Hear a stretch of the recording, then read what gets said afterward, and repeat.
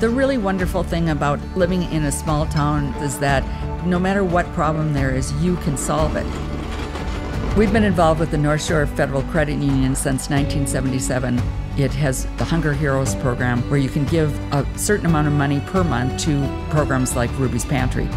What's really important is how we connect with other people and how we can make life better for the people around us.